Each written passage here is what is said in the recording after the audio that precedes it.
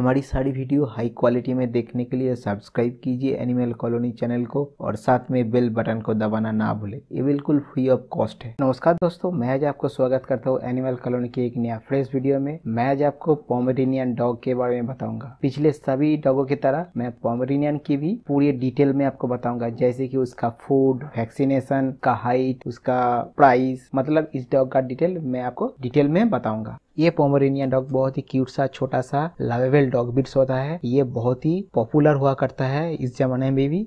लेकिन इससे भी पॉपुलर हुआ करता था जब रानी विक्टोरिया ने इस डॉग को अडॉप्ट किया था। उस टाइम पे ये डॉग बहुत ही पॉपुलर हुआ करता था। इस ब्रीड को मेन से ज़्यादा वुमेन बहुत ही पसंद करते हैं।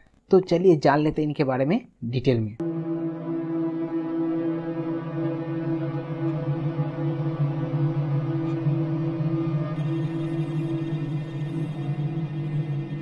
पोमेरेनियन का की ओरिजिन की बात किया जाए तो ये पोमेरेनिया से है, जो कि जर्मनी और पोलैंड के बीच की एक जगह है। इसको लोग पोम पोम पोम बुलाते हैं और किसी किसी ने इसको पोमेरियन भी बोलते हैं, लेकिन इसका ओरिजिनल नेम है पोमेरेनियन।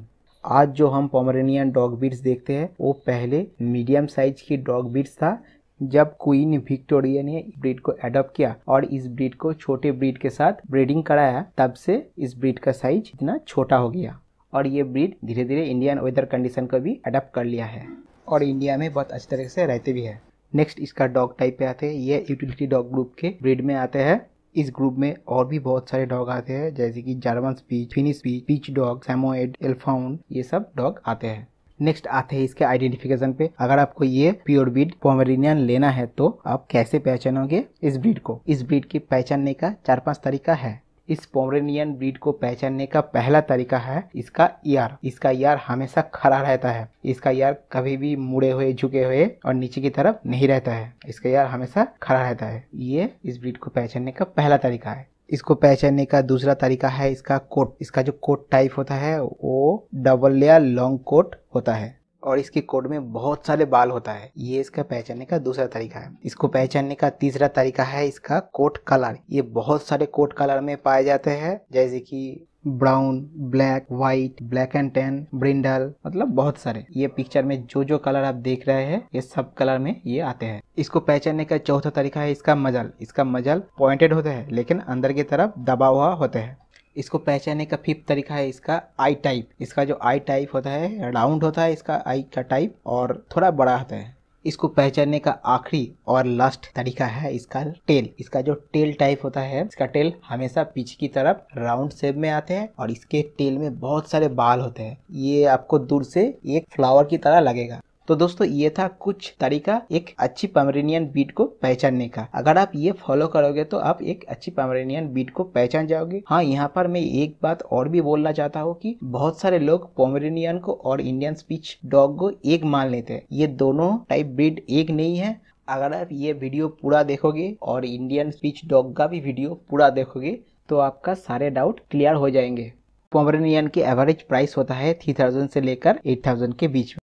नेक्स्ट आते हैं इसके फ़ूड चार्ट में। इसका फ़ूड चार्ट बहुत ही सिंपल एंड इजी है। हाँ लेकिन यहाँ पर मैं एक बात बोलना चाहता हूँ। मैं कोई डाइटिशियन नहीं हूँ। मैं जो आपको फ़ूड चार्ट और फ़ूड गाइड दूँगा वो मेरे नॉलेज एक्सपीरियंस और रिसर्च के बेस पे मैं आपको दे रहा हूँ। और ये जो चार्ट मैं आपको दे रहा हूँ, ये 90 परसेंट केसेस में आपको सेम रहेगा। लेकिन टेन परसेंट केसेस में ये चार्ट ना भी लगती है क्योंकि हर एक डॉग का जेनेटिकली कुछ ना कुछ प्रॉब्लम होता है और कुछ ना कुछ अलग सी होते हैं। उसके लिए आपको एक डॉक्टर का सलाह लेना पड़ेगा। अगर पप्पी का एज ज़ीरो डेज़ से ट्वेंटी डेज़ के बीच में है तो इसे मदर्स मिल्क दीजिए। अगर मदर्स मिल्क नहीं अवेलेबल है तो इसे आप मिल्क रिप्लेसर भी दे सकते हैं। मार्केट में बहुत सारे मिल्क रिप्लेसर है जैसे कि RC baby milk powder Lactol सेमोलेक इसे four to five times twenty या थर्टी एम कर दे सकते हैं। लेकिन यहाँ पर मैं एक बात बोलना चाहता हूँ इस एज में आप काउ मिल्क या बफेलो मिल्क मत दीजिए। काउ मिल्क या बफेलो मिल्क से इसका फ़ूड एलर्जी और लूज मोशन हो सकती है। नेक्स्ट जब आपका पप्पी का एज 20 डेज़ से थ्री मंथ के बीच में होगा तब आप यूज़ कर सकते हैं puppy starter food starter food को थ्री टू फोर टाइम्स देना एज पर पैकिंग इंस्ट्रक्शन इसके साथ आप होममेड फ़ूड भी यूज़ कर सकते हैं। जैसे कि मैस राइस दाल पानी ये सब आप यूज़ कर सकते हैं। लेकिन सॉल्ट यूज़ मत करना। एकदम ही ना करे तो अच्छा है। इसके साथ आप थोड़ा बॉइल्ड एप्पल दे सकती है स्किन और सीड निकाल के। अगर आपके पप्पी का एज थ्री मंथ के ऊपर हो जाएँगे तो आप पप्पी फ़ूड दे सकते हैं दिन में चार बार एज पर पैकिंग इंस्ट्रक्शन अगर आप चाहे तो होममेड फ़ूड भी दे सकते हैं। जैसे कि खिचड़ी, रोटी बॉयल्ड राइस ये सब आप दे सकते हैं। हाँ यहाँ पर एक बात आपको ध्यान में रखना चाहिए कि ये एक्टिव डॉग बीट्स है, इसलिए इसको थोड़ा बहुत चिकन देना। और अगर आप चाहे तो इसमें बॉइल्ड वेजिटेबल दे सकते हैं, जैसे कि गाजर, टमाटर पम्पकिन ग्रीन वेजिटेबल में जो जो आते हैं, उन सब का एक सूप बना के आप दे सकते हैं। हाँ यहाँ पर एक बात आपको ध्यान में रखना चाहिए कि ये जो फ़ूड ये फ़ूड एज के हिसाब से थोड़ा बहुत आप बढ़ा सकते हैं। थोड़ा थोड़ा करके बढ़ा लेना। लेकिन बहुत ज़्यादा नहीं, बहुत कम भी नहीं। और इसमें, इस फ़ूड हैबिट में चिकन रखना मत भूलना। थोड़ा बहुत चिकन इसको चलता है। नेक्स्ट आते हैं पोमरेनियन के लाइफ स्पैम पे। इसका जो लाइफ स्पैम होता है, ये करीब 12 या 13 साल से 14 या 15 साल तक होता है। नेक्स्ट आते हैं इसके वैक्सीनेशन पे। पपी का वैक्सीनेशन बहुत ही बहुत ही इंपॉर्टेंट है। अगर आप एक पपी खरीदे हैं तो उसका वैक्सीनेशन आपको ज़रूर कराना होगा। अब जहाँ से पपी खरीदेंगे, वहाँ से पपी का डेट ऑफ़ बर्थ ज़रूर पता कर लेना। क्योंकि उसी डेट ऑफ़ बर्थ को नज़र रखते हुए ये वैक्सीनेशन का प्रोसीड्योर स्टार्ट होगा। नॉर्मल केसेस में वैक्सीनेशन स्टार्ट होते हैं सिक्स वीक्स के बाद। लेकिन यहाँ पर मैं एक बात बोलना चाहता हूँ की अगर पपी को मदर्स मिल्क ना मिले तो उसको 28 डेज़ के बाद एक डीएचपी वाला वैक्सीनेशन ज़रूर देना। सिक्स वीक्स यानी 42 डेज़ के बाद आप डीएचपीपीआई वाला वैक्सीनेशन ज़रूर देना। इस डेज़ से एक दो दिन आगे पीछे हो सकती है, लेकिन ज़्यादा नहीं करना। इस दिन से अगला 20 डेज़ के बाद दूसरा वाला वैक्सीनेशन आपको देना पड़ेगा। ये वाला वैक्सीनेशन पहले वाला वैक्सीनेशन का बूस्टर होता है। अगर मान लिया जाए आप 45 डेज़ में पहला वाला वैक्सीनेशन दिया है तो नेक्स्ट आपको 65 डेज़ में दूसरा वाला वैक्सीनेशन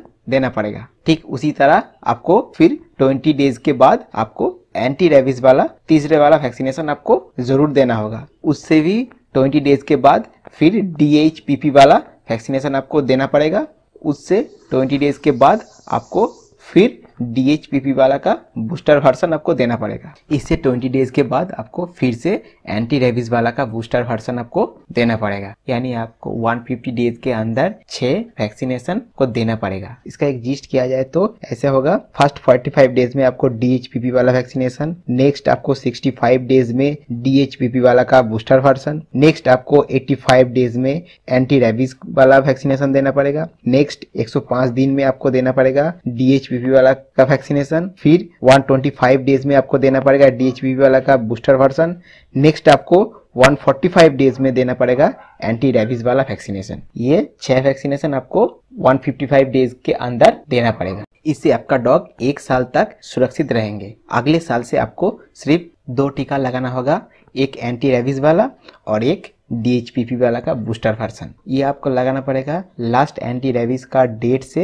एक साल बाद। डी वाला का भी सेम प्रोसीड्योर उसका लास्ट डेट से एक साल बाद। यहाँ पर मैं एक इम्पोर्टेंट चीज़ बता देता हूँ कि DHPP वाला इंजेक्शन कभी नॉर्मल टेम्परेचर में मत रखिए। इसको हमेशा आइस बैग में या फ्रिज में रखिए, क्योंकि इसका टेम्परेचर अगर एट डिग्री से ज़्यादा हो जाए तो ये कुछ काम नहीं करेगा, ये डेड हो जाएगा। नेक्स्ट आते हैं इसके प्राइस पे। इसका प्राइस स्टार्ट होता है थ्री हंड्रेड रुपीज़ से और आप ऊपर जब जाओगे, ये डिपेंड करता है कंपनी के ऊपर। तो दोस्तों, आज के लिए इतना ही। अगर आपको एनिमल वर्ल्ड के साथ जुड़ी हुई कोई भी जानकारी चाहिए तो प्लीज़ नीचे कमेंट कीजिए। अगर ये वीडियो पसंद आया तो प्लीज़ लाइक कीजिए और दोस्तों के साथ शेयर करना ना भूले। तो दोस्तों, आज हम चलते हैं, फिर मिलेंगे एक नया वीडियो में, एक नया टॉपिक के साथ।